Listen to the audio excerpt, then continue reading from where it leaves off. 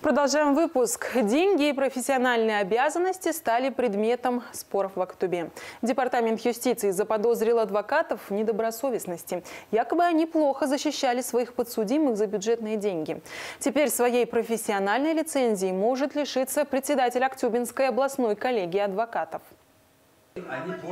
Актюбинские адвокаты вместо того, чтобы защищать права граждан, вынуждены бороться за свои. Против них с исками выступил Департамент юстиции. В сентябре прошлого года суд лишил адвокатской лицензии трех правозащитников, а вслед за этим сотрудники юстиции инициировали иск и в отношении председателя коллегии адвокатов Раисы Якубенко. Согласно иску, она не уследила за своими коллегами, которые лишь фиктивно защищали права граждан. Сами адвокаты ситуацию считают абсурдной абсурдной, так как постановления об оплате выставляются следователями. Никакие корректировки вносить не могут ни адвокаты, ни их председатель. А вот судья или дознаватель, следователь, они могут, ну как вам сказать, указать неправильное время. День один и тот же, допустим, в один и тот же день, якобы в одно и то же время я участвовал по двум делам. Такого быть не может.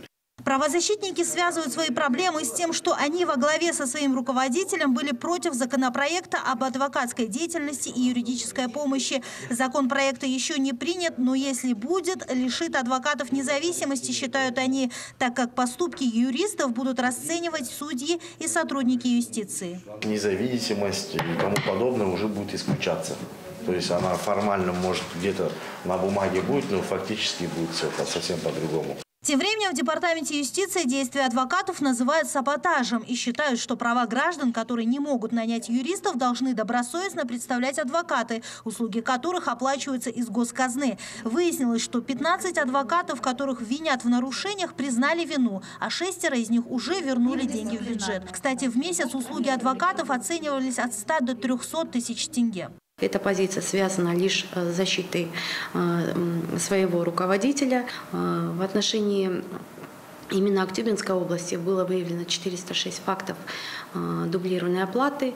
Предварительное слушание в отношении главного адвоката региона назначено на 12 января. Однако, по словам юристов, Раиса Якубенко еще не получила на руки исковое заявление, что они также считают нарушением ее прав. Кстати, адвокаты коллегии, а это свыше 150 человек, надеются на то, что Департамент юстиции все же отзовет свой иск. А еще адвокаты признали, что боятся заключать новые договора на оказание бесплатной юридической помощи нуждающимся, так как не застрахованы от таких ситуаций.